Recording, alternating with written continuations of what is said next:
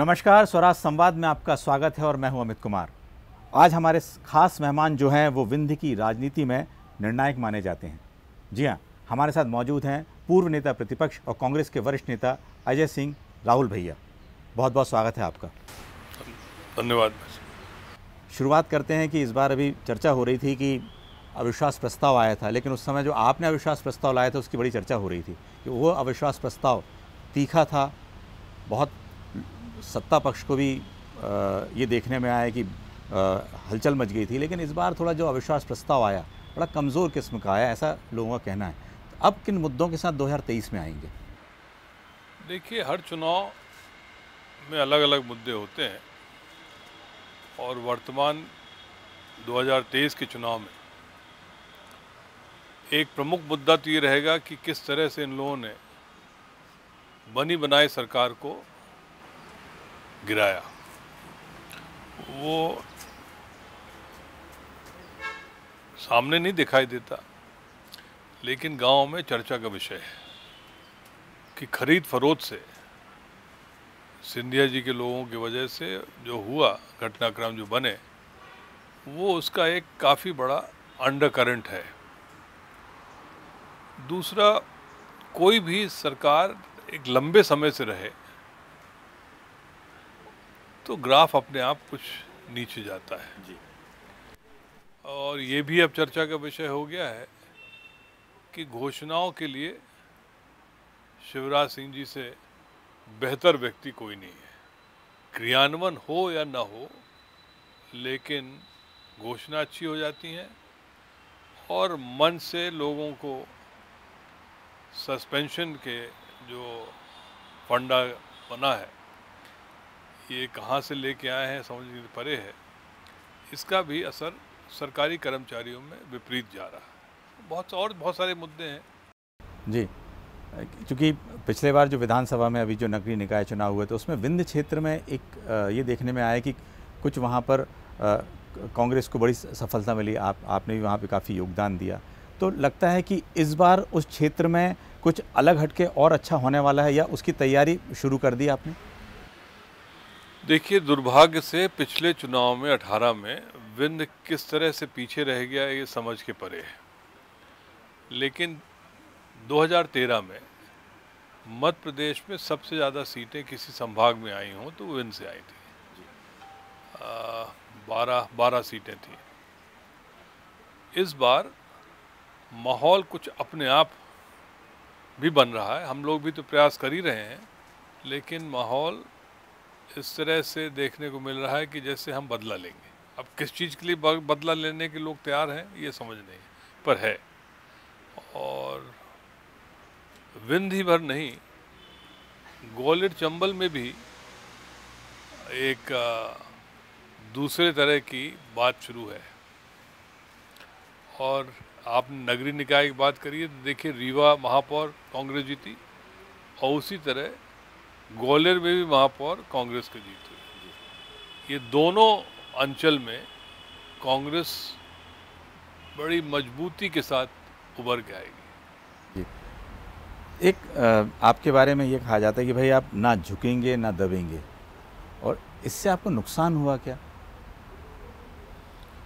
नहीं ऐसा कुछ नहीं कि नहीं झुकेंगे ना दबेंगे।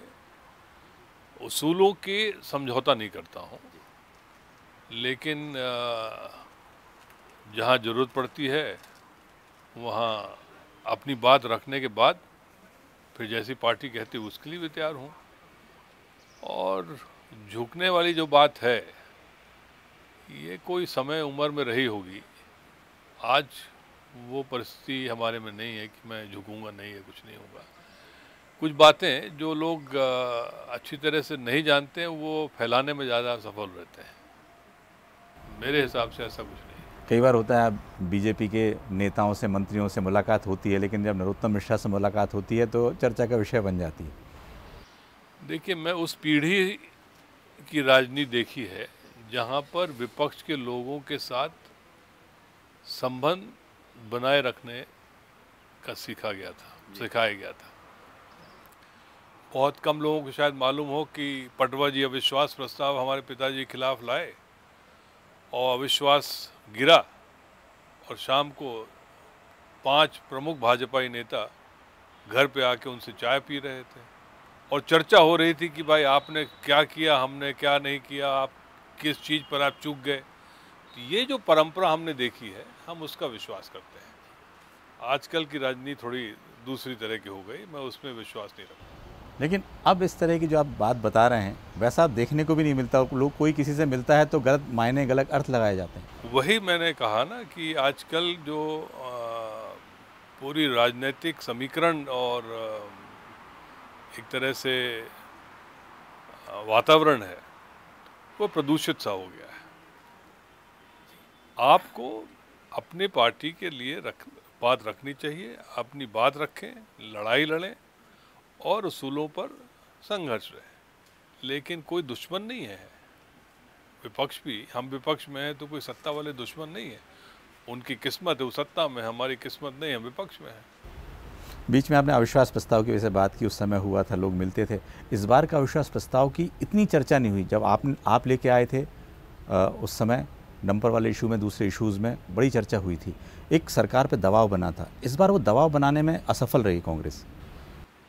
अब मैं अविश्वास के समय विधानसभा में उपस्थित नहीं, नहीं थे। लेकिन जो एक माहौल होता है जो एक चर्चा की बात। जो विषय उस समय थे शायद उन विषयों की वजह से चर्चा का विषय रहा हो। डंपर मामला था और माइनिंग के मामले थे व्यापम था। बहुत सारे ऐसे मुद्दे थे जो उस समय चर्चा का विषय था। और आपने बड़ी तरीके से उठाया भी था जी। अब तरीका तो अपना अपना तरीका होता है। जी अभी भारत जोड़ो यात्रा में भी आप आपकी सक्रियता काफ़ी रही। मध्य प्रदेश के कई तमाम तमाम ज़िलों से यहाँ छः ज़िलों से गुजरी कई विधानसभा क्षेत्र आए। लगता है कि वो वो भी उसका एक फ़ायदा मिलेगा उसका एक या पूरे देश भर में तो मिलता है लेकिन जहाँ चुनाव होते हैं उन यात्राओं से लोग एकजुट होते हैं और नेताओं को बहुत करीब से पहचाना जा सकता है। राहुल गांधी जी की बात हो रही है। देखिए, भारत जोड़ो यात्रा ने मध्य प्रदेश के राजनीतिक समीकरण बदल दिए जो राहुल गांधी जी के लिए लोग बाग दूर दूर से देखने के लिए उम्मीद भर लग करते थे, जब साथ में चले तो उनका जो सोच है वो दूसरी तरह का है। और आपने सही कहा कि पूरे मध्य प्रदेश से लोगों की सहभागिता थी और उसका अच्छा संदेश गया है। और मालवा निमाड़ के बेल्ट में कांग्रेस पिछले दफ़े अच्छी सफलता हासिल की थी। मुझे लगता है उससे बेहतर प्रदर्शन अब की रहेगा। एक आ, जब भी कोई नेता आ, किसी कांग्रेस के नेता बीजेपी के नेता से मिलते हैं तो एक बार बार आता है कि भाई ऐसा ना हो फिर कुछ कांग्रेस के लोग टूट जाएँ। आखिर ऐसी ऐसी स्थिति क्यों बन रही है आपके नज़र में? क्योंकि अब भी लोग कहते हैं कि इतने उनके संपर्क में हैं नेता संपर्क में हैं। एक बड़े संख्या बल के साथ कांग्रेस पार्टी आई थी 2018 में। लेकिन वो संभाल नहीं पाए, लेकिन अभी भी जो मिलते हैं, फिर वही आरोप लगने शुरू हो जाते हैं। तो उसको कैसे रोका जाएगा? देखिए, इतिहास में ले जाऊँ जो, उन्नीस सौ सड़सठ में टीपी मिश्रा जी की सरकार गिरी थी और एसवीडी की सरकार बनी थी। उस समय भी बहुत, मेरे ख्याल से पाँच सात, दस साल लगे थे वो चर्चा समाप्त होने में। जब एक दफ़े खरीद फरोद हो और वातावरण प्रदूषित हो जाए तो कुछ समय लगता है ठीक होने में। इस दफ़े जैसे सिंधिया जी के साथ और अन्य लोग भी चले गए तो चर्चा का विषय है ही अट्ठाईस चले गए तो फिर भी जा सकते हैं। और बयानबाजी तो दोनों तरफ़ से है कि हमारे भी संपर्क में है, उधर से वाले भी आने वाले हैं और इधर वाले भी हैं। तो ये कुछ असलियत से दूरी है। ख़ास तौर से जैसे आपने मुद्दों की बात की है 2023 में मध्य प्रदेश के जो मुद्दे हैं, उनके अलावा इलाके के मुद्दे में से आपने ग्वालियर संभाग की बात की वहाँ पर ये मुद्दा भी रहेगा जो नेता दल बदल करके आए हैं। या विंध्य में आज विकास का मुद्दा है, आज विंध्य भी उतना विकास नहीं हो पाया है, आखिर क्यों नहीं हो पाया? इसके पीछे कोई आप कारण मानते हैं? विंध्य को भारतीय जनता पार्टी ने दोहन का अंचल माना है। यदि देखा जाए तो राजस्व किसी अंचल में सबसे ज़्यादा कहीं से आता है तो विंध्य से आता है। लेकिन उसकी तुलना में वहाँ पर विकास नहीं हुआ। अब तो ये भी लोग कहने लगे हैं कि क्या हम लोग इतने भी सक्षम नहीं हैं कि कोई हमारे ज़िले का मंत्री हो। कुछ ज़िलों में तो चार चार मंत्री हैं और रीवा संभाग में स्पीकर के अलावा सिर्फ़ मीना सिंह और एक पटेल जी हैं और बाकी तो कुछ है नहीं छः ज़िलों में। ये भी एक इनके लिए खतरे की घंटी है। तो वहाँ पर जो एक आ, ऐसी स्थिति तो चलिए वो जो सिंधिया ने लगातार इतने सारे लोगों को लेके आना था एक वो कारण बताते हैं कि भाई उनके पूरे चंबल ग्वालियर चंबल इलाके सबसे ज़्यादा नेता मंत्रिमंडल में हैं और वो उनको अलग भी नहीं किया जा सकते। और ये बीजेपी के नेता मानते हैं कि भाई इसके पीछे कोई दूसरा रास्ता भी नहीं था यदि उनको इतने इतने मंत्रियों मंत्री पद दिया तो जायज़ है उस सब के लिए। ये आगे चल के इनका नुकसान भी होगा।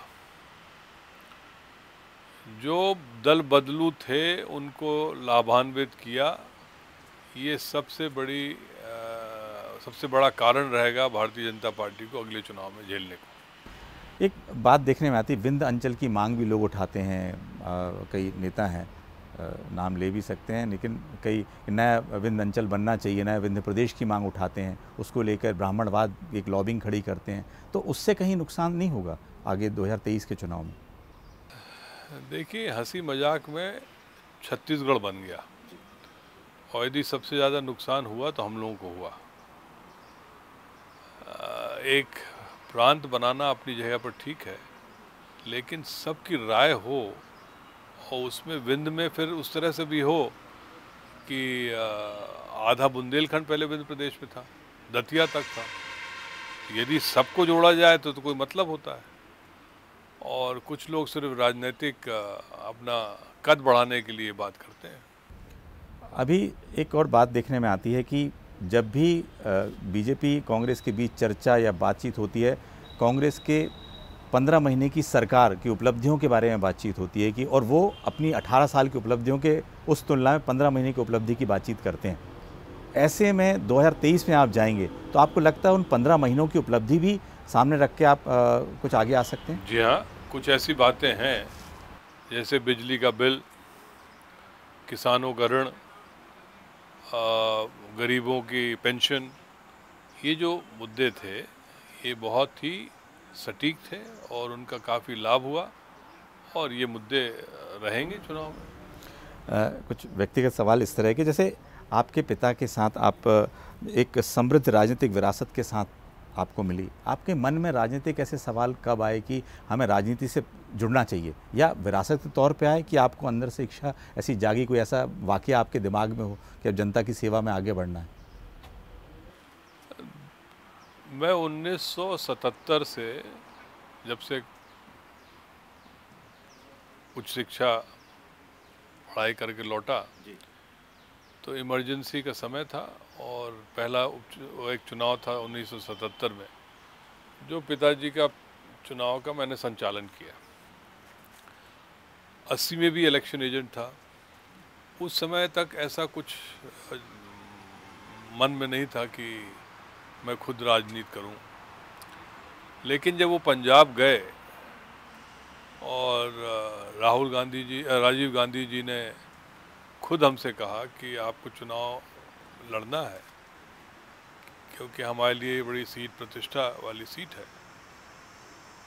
तो हमने भी सोचा कि चुनाव लड़ना तो आगे चल के है ही है तो क्यों ना अभी से?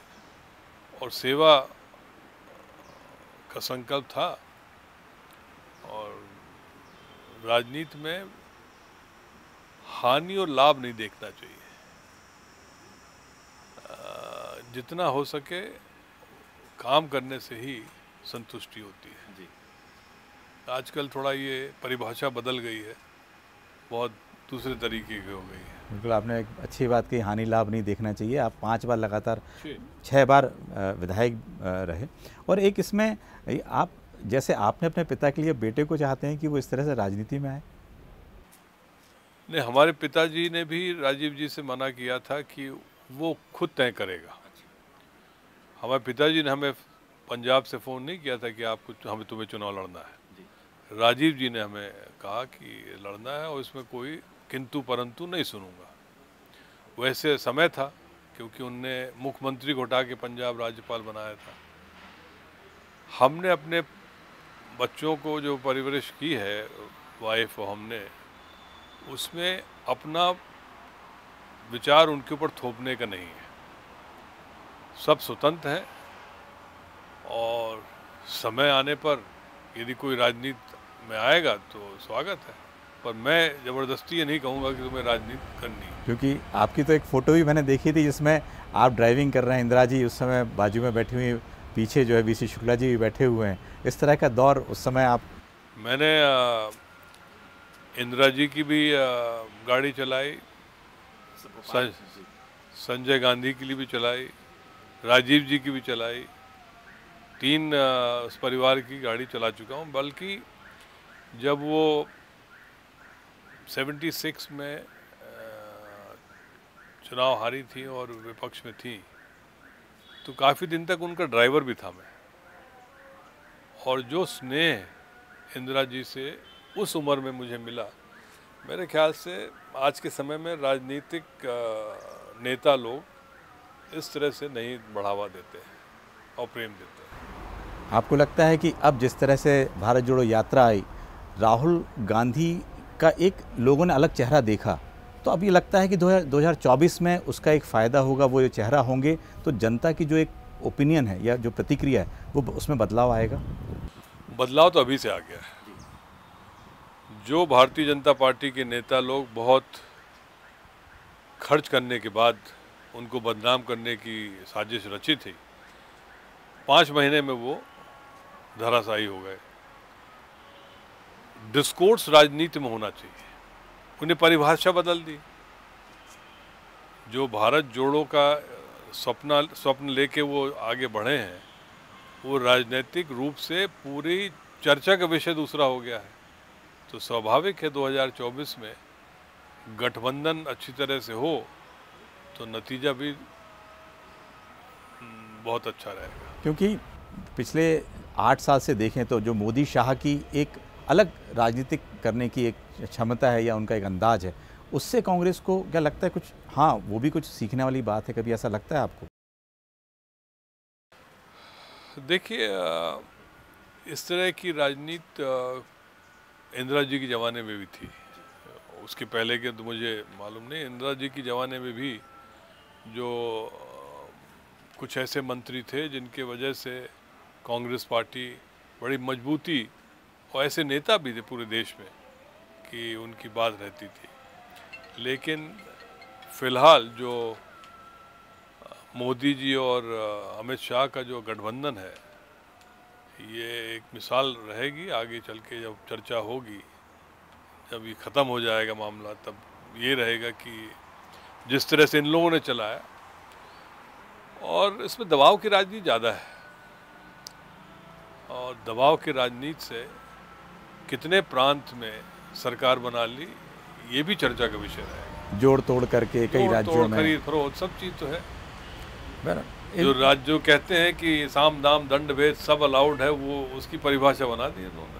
क्योंकि 2023 में कांग्रेस के लिए क्या चुनौती अब तो खैर कांग्रेस में जो कहते हैं कि गुटबाजी जो हमेशा सवाल उठाए जाते थे कि इनका गुट है एक ये गुट है इस तरह की बातें आती थी। 2023 में आपको लगता है कि अब सबसे बड़ा चैलेंज क्या रह गया है? यदि कांग्रेस को सत्ता में दोबारा लाना तो चैलेंज क्या है कांग्रेस के लिए? मध्य प्रदेश मध्य प्रदेश मध्य प्रदेश में सबसे बड़ा चैलेंज है कि जो हमारी मूल सोच है कांग्रेस की वो सड़क में आनी चाहिए। जब तक आप धरना प्रदर्शन और इस सरकार के खिलाफ कस्बों में गलियों में नहीं वर्कर उतरेगा, तब तक उस माहौल को अच्छी तरह से नहीं बना पाएँगे। एक होता है आवा मंडल। एक होता है कि अपने आप व्यवस्था बन रही है। जनता का मूड है, समय की पुकार है, पर कुछ हमें भी करना पड़ेगा, तभी फाइनल टच आएगा। शिवराज सिंह भी एक बड़ी चुनौती के रूप में है कांग्रेस के लिए। शिवराज सिंह जी अब कोई चुनौती के रूप में नहीं है। शिवराज सिंह जी की जो लोकप्रियता थी, वो मुझे जो लगता है कुछ घट गई है। लेकिन जो उनका जनसंपर्क है, वो चुनौती है। जितना वो दौड़ भाग कर लेते हैं, उतना औरों को भी करना चाहिए। बिल्कुल। सही बात है, औरों को भी करना चाहिए। लेकिन एक बात जो देखने में आती है कि कांग्रेस में ज़ाहिर जो चेहरा है, अभी से कमलनाथ जी ने अपने लिए कर रखा है, उनके साथ सबको जुड़ के कैसे काम कर पाएँगे? क्योंकि एक जो देखने में आता है, जो एक अंतर दिखाई देता है उनके साथ नेताओं में, वो कैसे पाट पाएँगे लोग? नहीं, अंतर नहीं है। कमलनाथ जी सर्वमान्य नेता है। लेकिन दस पंद्रह और लोग हैं, जिनको एक साथ लेकर जो इस चुनौती का लड़ाई लड़ी जाए तो और बेहतर होगा। कितनी सीटें आप उम्मीद करते हैं इस बार 2023 में कांग्रेस की? पिछले चुनाव से ज़्यादा। 2018 में जितनी मिली थी उससे भी ज़्यादा रहेंगे। आधार? खुद का आकलन। आपका आकलन है कि ऐसा होगा? और उन मुद्दे और उन चुनौती के लिए पूरी बीजे बीजेपी से लड़ने की पूरी कांग्रेस एकजुट है? देखिए, कांग्रेस का वर्कर एकजुट है।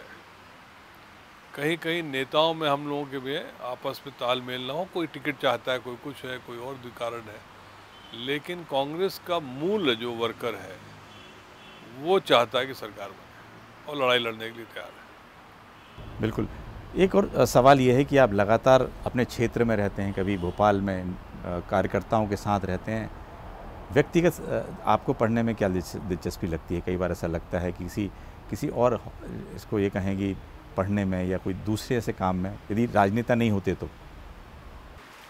राजनेता नहीं होता तो मैं एक अच्छा कृषक होता। अच्छा।